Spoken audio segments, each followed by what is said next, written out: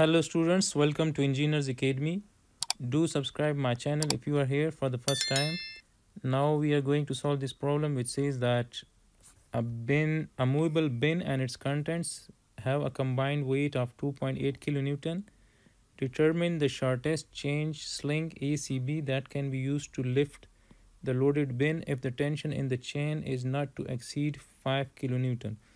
So we have to find the chain sling from from A until B. So ACB, we need to find the length of this chain in order to have the maximum tension in chain 5 kilonewton and the weight of the bin and its contents is 2.8 kilonewton.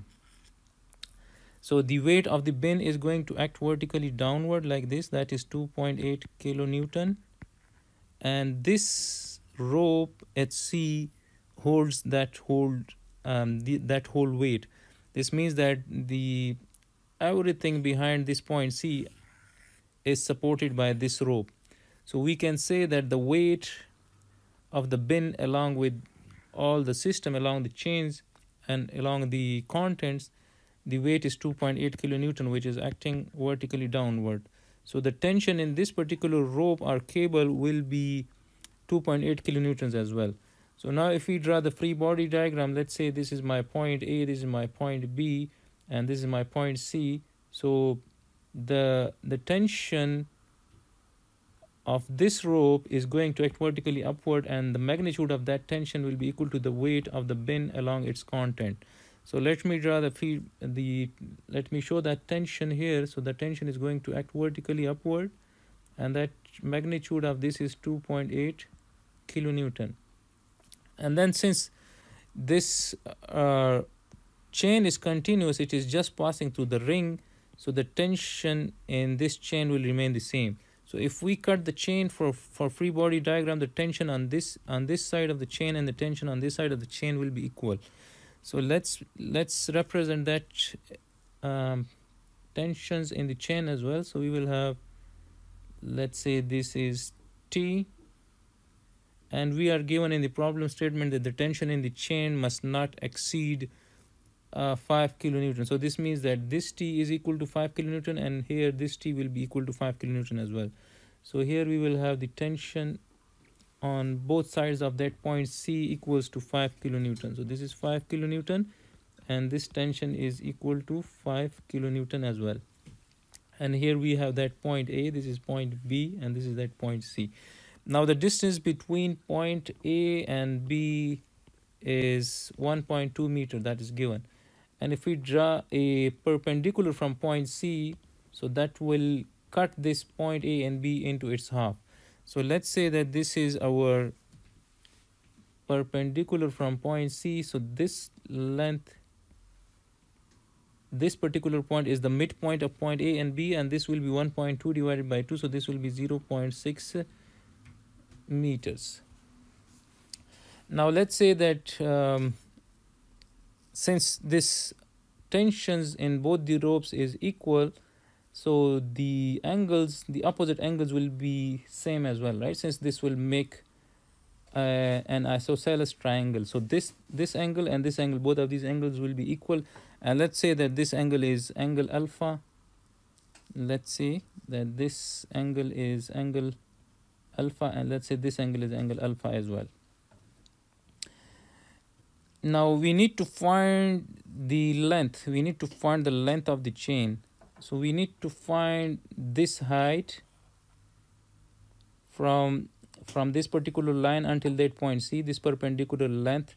So if we somehow find this height we know this. So we will be able to find the hypotenuse of this right angle triangle. So this will be the hypotenuse and once we find this AC length then the twice of that AC length will be equal to the the the length of the chain since this AC length is equal to BC length. So we need to find this height h. So let's represent that height h as well. So this is that height h which is required. Now as we know that this point c is in equilibrium this point c is in equilibrium and uh, this point c is in equilibrium under the action of these three tensions so the the resultant is equal to zero since this point c is in equilibrium and if it is in equilibrium these three tensions must make a closed triangle. So let's make a closed triangle. Let's draw these uh, rearrange these uh, tensions uh, by using the head to tail rule. So this is that 5 kilonewton and then we will have one another vector that is the 5 kilonewton tension as well. And then we will have that weight which is acting vertically upward. So this is that 2.8 kilonewton. And now as we know that uh, this tension is making angle alpha. So we have that angle alpha here. And similarly um, this tension is making angle alpha here. So this this angle and this angle both of these angles are equal since they are alternate angles. So this is angle alpha as well and again uh, since this 5 kilonewton and this side has a magnitude of 5 kilonewton and this side has a magnitude of 5 kilonewton so the both of these angles are equal. So we can say that this angle is angle theta and this angle is angle theta. Now we need to find this particular angle. This particular angle will be equal to alpha plus alpha so this will be 2 alpha. So by using the law of cosines we can find these 2 alpha angle uh, we can we, we need to use the law of cosine since we know the magnitude of this vector the magnitude of this and the magnitude of this vector. So we will be able to find the included angle between both of these. So we can say that this will be 2.8 square this will be equal to 5 kilonewton square plus 5 kilonewton square minus 2 into 5 into 5 and cos of that angle which is 2 alpha so and we can rearrange this equation. We can bring this term to the other side of equation and we can bring this to the other side of equation. So we will have the equation like this.